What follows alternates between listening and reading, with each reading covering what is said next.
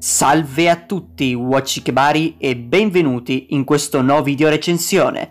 Oggi voglio parlarvi di un film western. Sapete tutti quanti cos'è il west, i cowboy, lo sceriffo, capito? Sì, io da bambino mi sono guardato molte volte invece Fievel conquista il west e l'ho rivisto ieri sera e devo ammettere che mi ha annoiato troppo. Già. Ma l'argomento di oggi non è questo, anzi è Rango.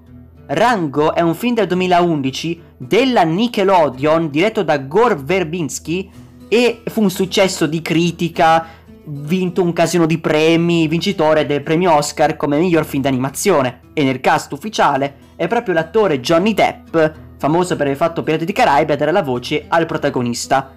Ok, Rango inizia con un camaleonte che passa la sua giornata dentro una boccia di vetro, però a causa di un problema finisce fuori dall'auto durante il viaggio e arriva sulla strada.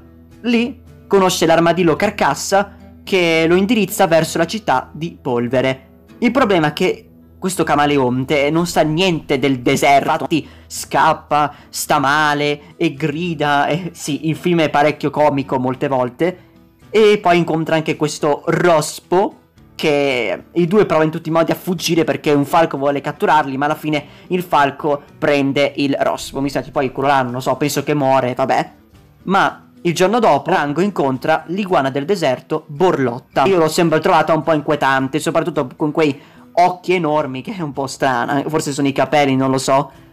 E sì, Rango arriva nella città di Polvere e scopre che è arrivato in un posto dove ci sono gli sceriffi, la banca, e gente strana, e ovviamente lui viene definito come lo straniero. Sì, perché lui è strano, è strano. Ma Rango, dopo che è entrato in un bar, decide di definirsi una specie di eroe. Sapete, lui ha ucciso i fratelli Jenkins con una sola pallottola, se non erro. E quindi la gente inizia a pensare, oh mio dio, allora è veramente un eroe.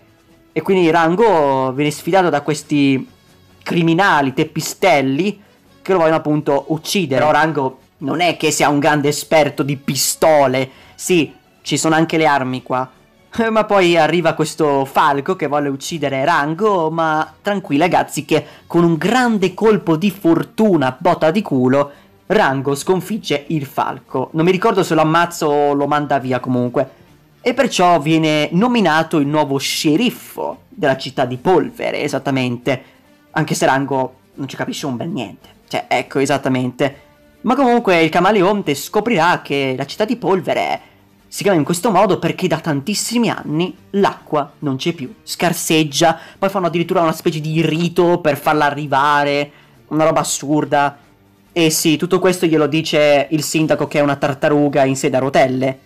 Ma, all'improvviso, la banca viene rapinata e quindi Rango, in compagnia di suoi amici nuovi alleati, vanno, vanno, vanno, vanno. E arrivano in questo canyon dove c'è questa enorme famiglia di animali che guidano i pipistrelli, comandata da questo vecchio con un naso molto brutto, che una volta che appare, oh mio dio. Ma, dopodiché, eh, ragazzi, la città viene spaventata a morte dall'arrivo di Jake Sonagli, il serpente più figo che abbia mai visto. È stupendo. E ogni volta che appare è fantastico, anche se cioè solamente verso la fine, e proprio lui a rivelare a tutti quanti che Rantarango è un bugiardo. Lui non ha ucciso i fratelli Jenkins, non è veramente un vero cowboy, non è nessuno, un camaleonte così e basta. E Rango viene bandito dalla città.